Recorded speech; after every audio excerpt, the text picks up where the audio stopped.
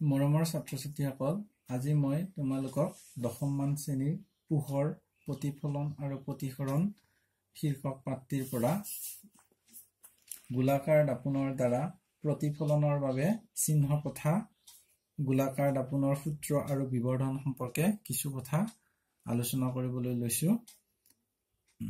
আহাচোন আমি পাঠটিলৈ আগবাঢ়ি যাওঁ।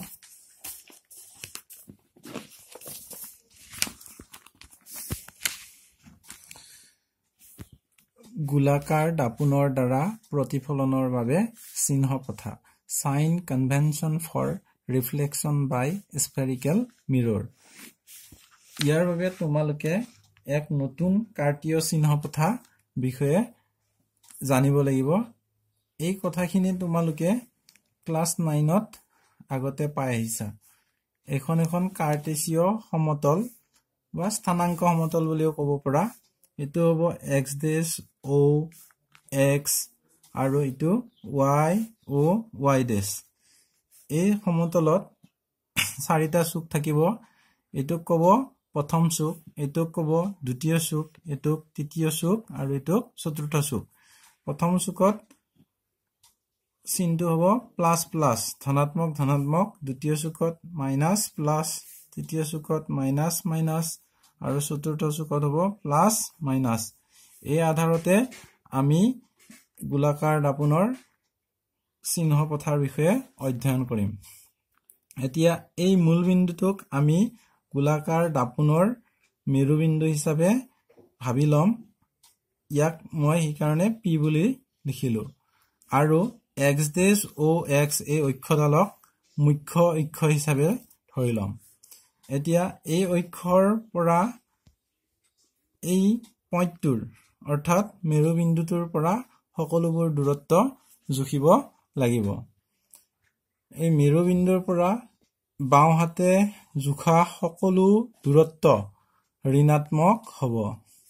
আকৌ কৈ দিছোঁ মই মেৰুবিন্দুৰ পৰা বাওঁহাতে অৰ্থাৎ এক্স ডেছৰ দিশত জোখা সকলোবোৰ দূৰত্বক ঋণাত্মক হিচাপে আমি বিবেচনা কৰিম। ঠিক একেদৰে মূলবিন্দুৰ পৰা সোঁহাতলৈ জোখা সকলোবোৰ দূৰত্ব হ'ব পজিটিভ অৰ্থাৎ ধনাত্মক। এইবাৰ এই অক্ষডালৰ পৰা ওপৰলৈ জোখা সকলোবোৰ দূৰত্ব হ'ব ধনাত্মক। ঠিক একেদৰে এই অক্ষৰ পৰা ইফালে তললৈ জোখা সকলো দূৰত্ব হ'ব ঋণাত্মক।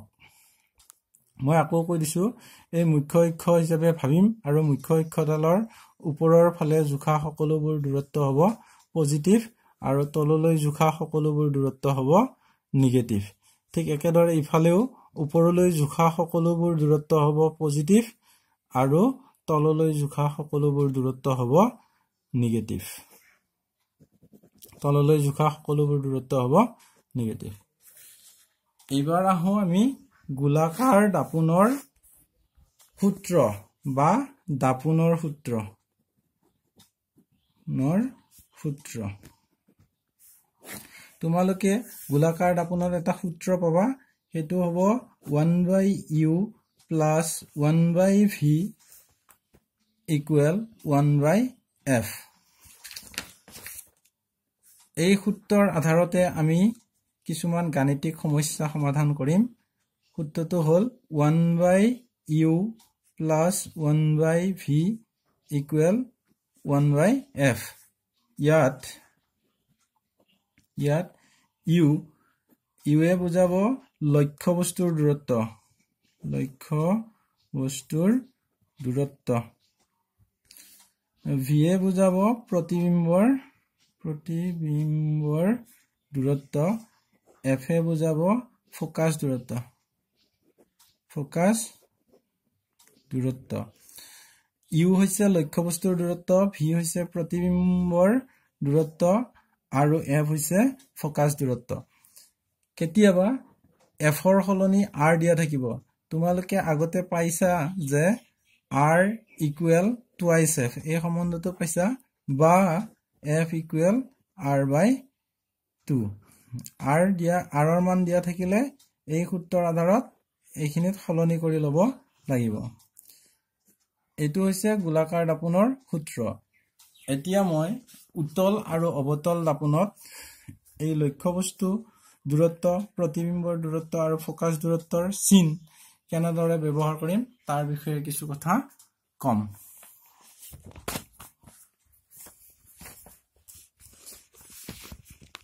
প্ৰথমতে অৱতল দাপোনৰ ক্ষেত্ৰত চাওঁ। এইটো অৱতল দাপোনৰ ক্ষেত্ৰত মই ইয়াতে অৱতল দাপোনখন আঁকি ললোঁ। এইখন অৱতল দাপোন। এইটো দাপোনৰ মেৰুবিন্দু আৰু এডাল মুখ্য অক্ষ পি এতিয়া লক্ষ্য বস্তুৰ দূৰত্বক আমি ইউ বুলি কৈছিলোঁ প্ৰতিবিম্বৰ দূৰত্বক ভি বুলি কৈছিলোঁ ফকাছ দূৰত্বক এফ বুলি কৈছিলোঁ আৰু ভাজ ব্যাসাৰ্ধক আৰ বুলি কৈছিলোঁ। এইটো দাপোনৰ মেৰুবিন্দু এইফালে দাপোনখন ৰং কৰা আছে গতিকে লক্ষ্য বস্তু ইফালে থাকিব। এই মেৰুবিন্দুৰ পৰা বাওঁ হাতে জোখা সকলোবোৰৰ দূৰত্বৰ চিনটো হ'ব নিগেটিভ ঋণাত্মক। অৰ্থাৎ লক্ষ্য বস্তুৰ দূৰত্বৰ সাংসিক মানটো আমি ঋণাত্মক বিচা হিচাপে গণ্য কৰিম। প্ৰতিবিম্ব অৱতল দাপোনত প্ৰতিবিম্ব এইফালেও গঠিত হ'ব পাৰে বা দাপোনৰ পিছফালেও গঠিত হ'ব পাৰে। গতিকে ইয়াৰ চিনটো নিগেটিভো হ'ব পাৰে আৰু পজিটিভো হ'ব পাৰে। এতিয়া কেতিয়া নিগেটিভ হ'ব আৰু কেতিয়া পজিটিভ হ'ব? যেতিয়া গাণিতিক সমস্যাটোত সৎ প্ৰতিবিম্ব গঠন হোৱা বুলি কোৱা থাকিব তেতিয়া আমি নিগেটিভ চিন ব্যৱহাৰ কৰিব লাগিব আৰু যেতিয়া অসৎ প্ৰতিবিম্ব গঠন হোৱা বুলি ক'ব কোৱা থাকিব তেতিয়াহ'লে পজিটিভ চিন আমি ব্যৱহাৰ কৰিম। ফকাছ দূৰত্বৰ চিনটো হ'ব ঋণাত্মক নিগেটিভ। কিয়? গোলাকাৰ দাপোনখন এনেদৰে হৈছে ইয়াৰ ভাস্কেন্দ্ৰটো ইফালে থাকিব ফকাছ দূৰত্বও এই বাওঁ দিশত থাকিব গতিকে ইয়াৰ চাইনটো হ'ব নিগেটিভ।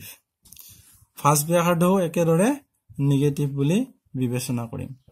মই আকৌ কৈ দিছোঁ অৱতাল দাপোনৰ ক্ষেত্ৰত লক্ষ্যবস্তুৰ দূৰত্বৰ সাংখ্যিক মানটো ঋণাত্মক ধৰিম প্ৰতিবিম্বৰ দূৰত্ব ঋণাত্মকো হ'ব পাৰে ধনাত্মকো হ'ব পাৰে ফকাছ দূৰত্বটো ঋণাত্মক হ'ব আৰু ভাজ ব্যাসাৰ্ধও ঋণাত্মক হ'ব।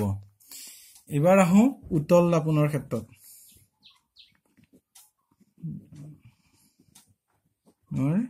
ক্ষেত্ৰত একেদৰে মই উতল দাপোনখন ইয়াতে আঁকি ললো। এইখন উতল দাপোন। এইটো আপোনাৰ মেৰুবিন্দু আৰু এডাল মুখ্য অক্ষ।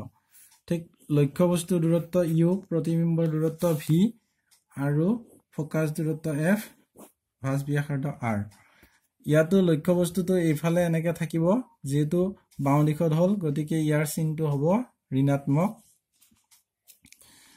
তাৰপিছত প্ৰতিবিম্বটো সদায় দাপোনৰ পিছফালে গঠিত হ'ব এনেকুৱা জেগাত তেতিয়াহ'লে ই হ'ব পজিটিভ।